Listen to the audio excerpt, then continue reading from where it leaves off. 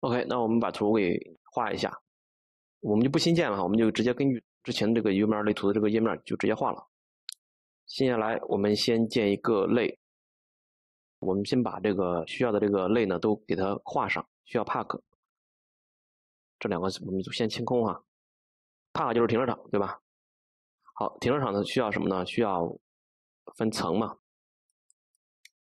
这是层的一个 class，然后每个层里面呢还有什么呢？还有这个 place 就是车位啊。好，我们说过车位它需要一个属性 empty，这可以写成加号 empty，然后这是个布尔类型的一个属性来显示它是不是空。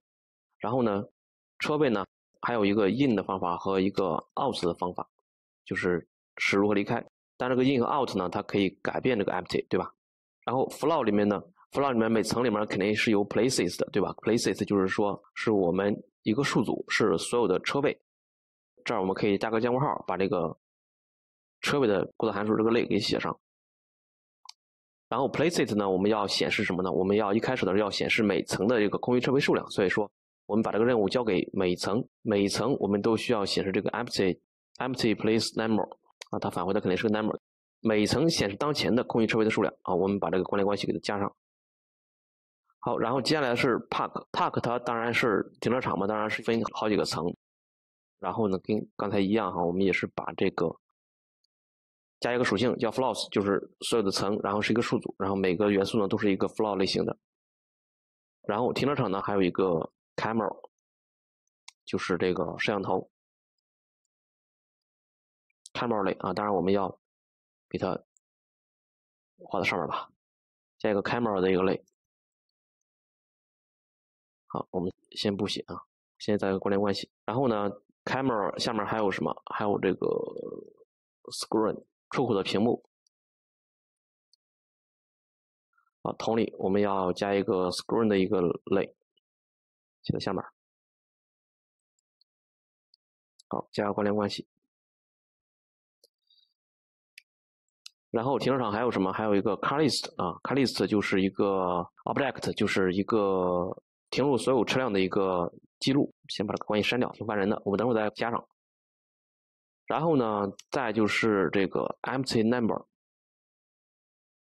就是针对停车场来说，整个停车场的所有层的一个空余车位的数量啊，车辆驶入之前要看的，这是 empty number。然后 in，我们把传入 car，就是车辆进入；out 呢，就是什么车辆驶出，对吧？in out 就是停车场的一个入口函数。好，这个时候我们再把这个关联关系给加上，啊，当然呢，我们还需要一个什么？还需要一个 car 的一个类，啊，这个 car 呢，它有个什么？它有一个 number，车牌号。其实对停车场来说，每个车就是一个号码，对不对？它不关心这个车到底是什么颜色啊，什么价格呀，什么名称啊，这都不关心，只要有车牌号就行了。只要车牌号，你就可以进来。好，当然这个地方也要加一个关联关系。好，这是整个的一个框架，然后我们再修修补补啊，就是在这个。Camera 里面呢，我们要加一个 shot 的一个方法，就是拍摄，我们要把 car 传进去，然后 camera 它要返回一个 object，就是我们要把 car 传进去之后，它返回的是什么？返回的是车牌号和驶入信息，然后这个信息呢要存到这个 c a l i s t 里面，然后 screen 呢它就是一个出口显示器，就去显示这个车辆的信息以及车辆的驶入的一个完整的时间，啊，所以它返回的是个 string 类型，当然传入的时候要传入一个 car 的一个对象 in time。